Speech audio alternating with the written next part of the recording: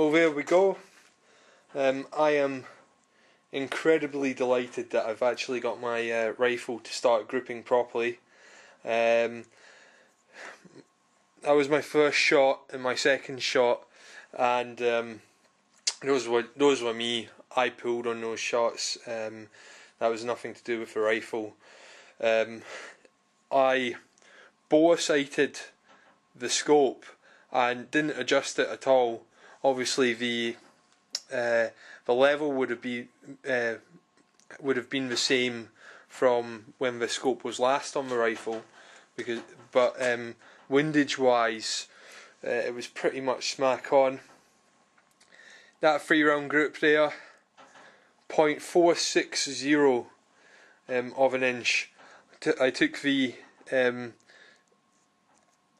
outside diameter, uh, the outside measurement at the widest point for those three rounds, and then subtracted the bullet size, which is 30 caliber. So that was a a .460, and um, adding in all five rounds, um, it was a .740 group. So I am absolutely delighted.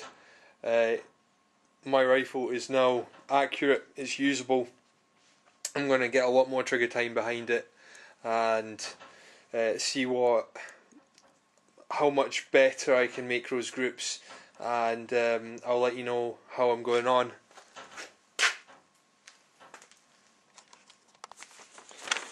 Just as a comparison, I'll put the before and after targets uh, next to each other. So this was before and this is after bedding and you can see the, the, the clear difference that is made.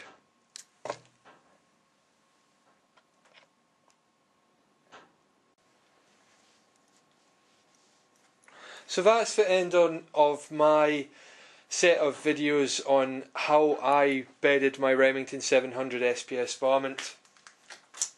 Bedding the action has vastly improved that accuracy and uh, you know made my rifle uh, really really good now and I'm gonna certainly enjoy shooting it.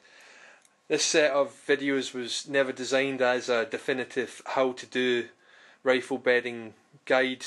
It's me just sharing with you how I did it um, but hopefully you'll be able to take you know tips and pointers away from that.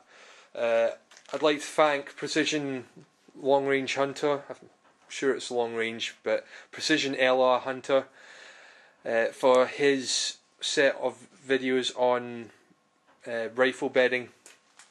I'd like to thank Jim Young, my gunsmith at continentalshooting.co.uk for his advice and uh, tips on how to do this job.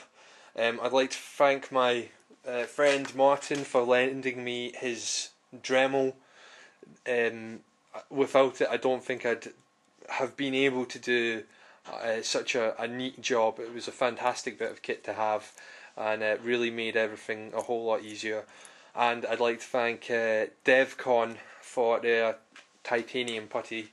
Um, it was a fantastic product to work with. Um, it worked perfectly and uh, it worked first time so I'm happy with that so thank you very much. Um, I hope you've enjoyed these videos. I hope they will be useful to you. And um, no doubt I'll be posting more videos in the future. Thank you very much